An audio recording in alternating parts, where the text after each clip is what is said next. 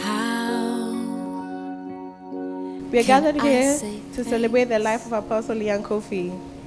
As we celebrate 50 years of her life and God's goodness, I'd like you all to sit down, relax, and enjoy tonight. Thank you.